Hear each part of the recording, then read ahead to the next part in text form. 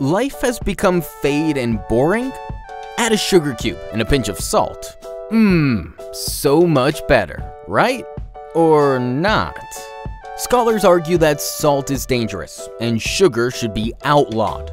You grow old faster, more often you get sick, overeat, and it's not clear how you manage to survive at all.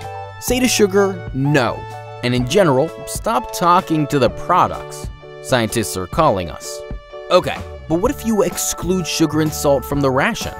So we refuse sugar in all its forms. And what happens to our body? Bones and teeth have become better. Because for the assimilation of sugar, the body uses calcium and takes it not from food, but from inner supply. But what to do with them?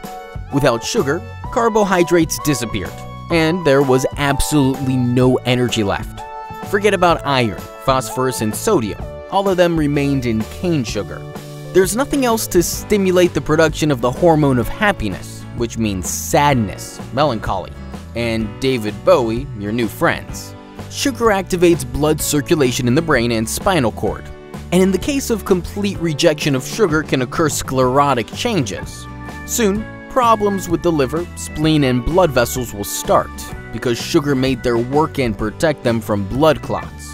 And sugar all this time protects you from arthritis. To avoid this, nutritionists say that you can afford 60 grams of sugar per day. And it's... And what about the salt? You will be surprised, but here the situation is even more serious.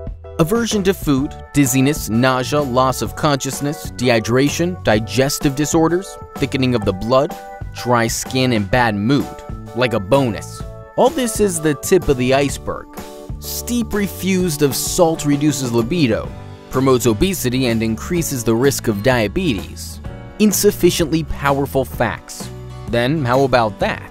Absence of iodine, fluoride, sodium, and chlorine leads to disorders of nervous functions, thyroid diseases, loss of control over muscles, and even heart diseases.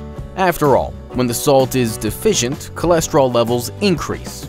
Perhaps the most dangerous side effect of salt-free diets can be cerebral edema. This happens because of thinning and rupture of blood vessels.